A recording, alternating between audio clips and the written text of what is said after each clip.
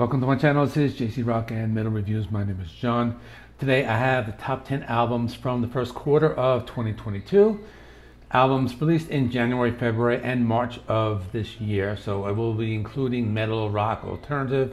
I'm just going to mix them all up. I'm basically only including albums that I did full reviews of on, this channel. So you can go back and check out all the full reviews. I will put a playlist on it at the end of the album, at the end of the uh, review called uh, New Album Reviews 2022. Uh, now let me get right into it. So a couple of albums that I liked at first, but they didn't really make the list. Like, you know, after I went back and listened to them, I didn't really like them as much. So for example, Wilderun, uh, Epigone, that one, I remember like in my uh, thumbnail, I put like the best album of 22, 22 so far, but that one I actually didn't like, you know, later on. Battle Beast, Circus of Doom, that one, I guess I didn't like. I know a lot of people like that one better than I did. Saxon Carpe Diem, good album, but it just, you know, not, not up to par. Venom Prison Erebos, I like that one a lot, but I guess not as much.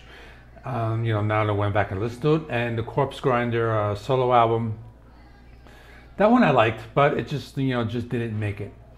Now, a couple of uh, honorable mentions. These are the ones that like almost made my top 10. So these would be you know, like 11 to 14 or something like that. so uh, Amorphis with Halo, that one actually didn't like at first, but that one grew on me a lot. That one came close to making top 10. Sabaton, The War to End All Wars. Now you're probably surprised that's not in my top 10, but it was close. I like it, but the other ones I like better. Crowbar, Zero and Below, that was a good one, but it came close. And with this new album, Kvaen, The Great Below, black metal album, and uh, it almost made my list. I like that one a lot, but it just didn't make it. So at number 10, this one's going to be surprising. Power Paladin with the Magic of Windfyre Steel. It's a debut album by a power metal band. I'm actually surprised they made my list. You know, they're like an underground band. you know, I'm not really the biggest power metal fan. I'm kind of like just starting to get into it, but I liked it because it just had this like classic like power metal sound. Um, similar to like uh, you know like Helloween and something, you know those types of bands. Some great songs: Dark Crystal, There Could Be Only One, Righteous Fury, and just a, an album that I liked a lot. At number nine, Tony Martin, Thorns. Now he was the vocalist for Black Sabbath during the late 80s and early 90s, and this one has that similar sound. You know those Black Sabbath albums, Headless Cross, Cross Purposes, you know those types of albums. They're dark and heavy. It has a classic sound. Um, you don't really hear that often. Best songs: Book of Shadows, Run Like the Devil, Black Widow Angel. So if you like classic Black Sabbath, uh, definitely check this album out. At number eight, Out on Bail by Warrior Soul. Now this one I'm surprised that this made my list because during my first review I wasn't really too like enthusiastic about it. I think I gave it like a seven or 7.5 or something, but it did grow on me a lot after listening to it like a few more times. It's alternative rock. And it has a sound like their early albums from like the late 80s to early 90s. The lyrics are very political. You know, talk a lot about current events. And, you know, for example, Hip Hip Hooray, they talk about COVID and the GOP and things like that. That's a great song. Other great songs, One More for the Road, Out on Bail. You know, Out on Bail, that, that's a very like uh, Guns N' Roses or like Rolling Stones type of uh, song and definitely an album to check out. At number seven, I have Jethro Tull with the Zealot Gene. Um, this one I actually thought would rank much higher. I liked it a lot when it first came out, um, but it did make my top ten. It's a very kind of like a laid back album. It has, you know, it doesn't really have like that hard rock sound of like Aqualung or like the prog rock of Thick as a Brick, but the songs are good. It's just like rock and folk rock. I think some people said it could have been an Ian Anderson solo album, but you know, you can argue that. But other than that, I like it a lot. Best songs: Mrs. Tibbets, Shoshana Sleeping, The Zealot Gene, Sad City Sisters, and The Fisherman of Ephesus. It's just a, a, good album from a band that I've always liked all my life. At number six, uh, I have Voivod with Synchro Anarchy. So um, this is a band that has a sound, they're very unique. Uh, it's kind of like a combination of many different styles, some thrash, like progressive metal, but the album is very good. It does have that classic sound going back to albums like Nothingface, Dimension Hatröss, Has some really great like bass grooves, some like futuristic like guitar riffs, that classic Voivod sound. They just did it very well. Best songs, Sleeves Off, Memory Failure, Mind Clock, and Holographic Thinking. At number five, I have Dave Grohl with Dream Widow. Another one I'm surprised, this one just came out last week. And really great album. It's like an extreme metal and based on the fictional metal band from the Foo Fighters Studio 666 movie. Now, unfortunately, Taylor Hawkins died like, I think it was the day it was released, and I actually found the news after it, like the next morning after I posted this. I posted it on a Friday night and I like learned about his death on Saturday morning. So when I did my review, I didn't really mention uh, Taylor Hawkins at the time, but it is unlike anything Foo Fighters have ever done. You know, some songs sound completely different, like grindcore and like doom metal, black metal. Other songs sound like uh, Foo Fighters, like playing like really heavy.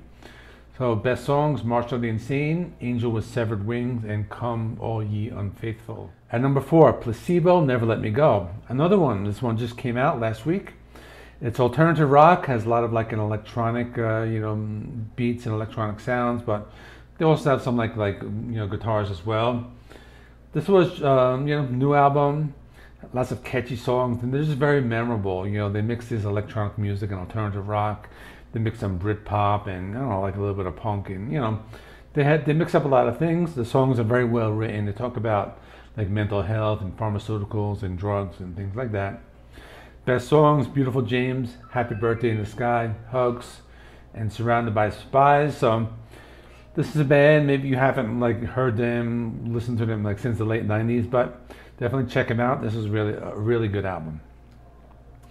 At number three, another one that surprised me, uh, Hammerfall with Hammer of Dawn. You know, at first, I wasn't like, you know, super impressed by this album. I thought it was pretty good, you know. I'm just starting to get into, um, you know, that power metal, but I listened to this over, you know, a couple more times, you know, since I reviewed it, and it just grew on me a lot. I mean, these songs are very catchy, really great uh, riffs. The thing that like I like best about this album is just like the guitar sound. It just really great riffs. They stick in your head. You know, I really like it. Best songs: No Son of Odin, Venerate Me, Reveries, uh, No Mercy. Pretty much the whole album. At this point, like all the songs on all the albums are, are really good. At number two, I have Scorpions with Rock Believer. Um, this one I kind of thought it might have been number one because I did like it a lot. You know, but it uh, great album. There was one album I just liked a little better brings back that classic sound of albums like Blackout and Love Drive, Animal Magnetism, and you know some of those like '80s albums like Love at First Sting and Savage Amusement. Um, you know they do kind of capture that you know period of the band. Just classic hard rock, heavy metal. Best songs: Rock Believer, Seventh Son, Peacemaker, and Call the Wild.